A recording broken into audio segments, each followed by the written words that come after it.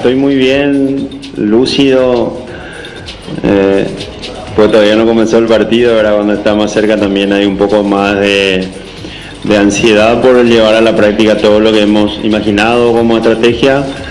y también que salga muy bien en, la cancha en cuanto al juego, al desarrollo del juego por parte de nuestros, de nuestros muchachos. Eh, en general todo, todo óptimo, pero esta vez no, no, vamos a confirmar el equipo, vamos a esperar hasta mañana, estamos muy encima de la hora, ¿verdad?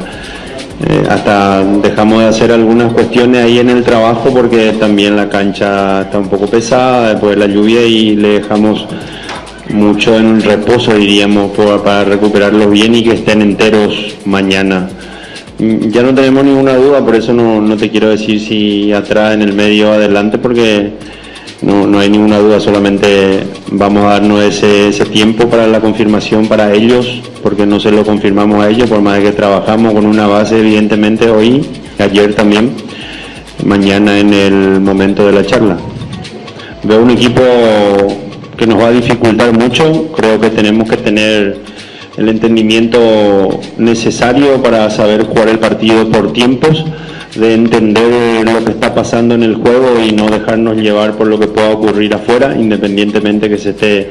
jugando bien, medianamente o mal o del resultado,